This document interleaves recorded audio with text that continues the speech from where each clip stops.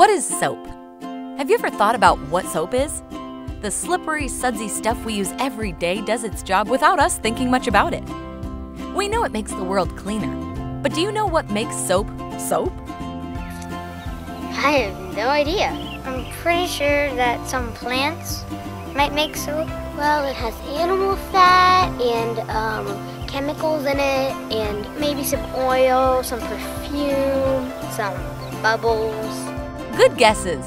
But the secrets of soap are much more interesting than that. Most soaps we use today are mixtures of ingredients people have been experimenting with for 5,000 years.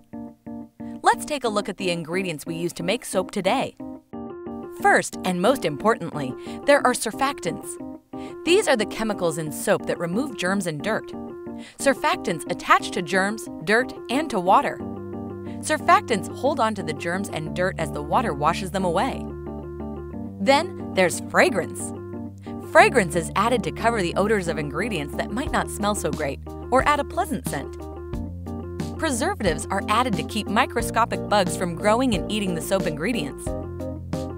A pH adjuster raises or lowers the pH of a solution, making it either more acidic or more basic. The pH level affects how well the soap does its job.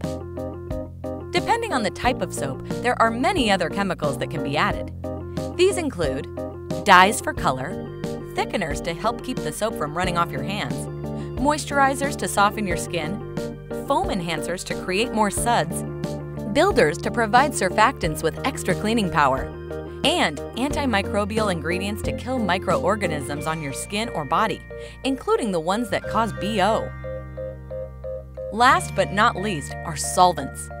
These help to blend the ingredients and give soap the right consistency so it's easy for you to use. Creative people like you are working to improve soap every day. And since it's so important to everyday living, this work will go on forever.